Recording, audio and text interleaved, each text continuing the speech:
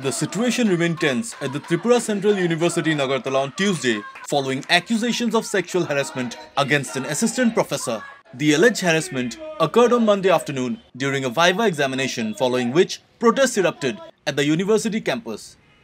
से बोले अभी उसी चीज़ को लेकर हम बीसी सर के साथ बात करने आए हैं कि वो टीचर को तुरंत यूनिवर्सिटी से बाहर कर दे तो सर बोल रहे हैं कि ये लोग कमेटी को बुलाएंगे और तुरंत मीटिंग करके उसका क्या डिसाइड होता है वो हम लोगों को बोलेंगे तो आज के लिए हमने ये कंप्लेन जो है हमारे वो स्टूडेंट वेलफेयर के पास जमा किया है स्टूडेंट ने खुद Meanwhile, the Vice Chancellor informed the media that he is in touch with the complainant and action will be taken based on the findings of an ongoing investigation.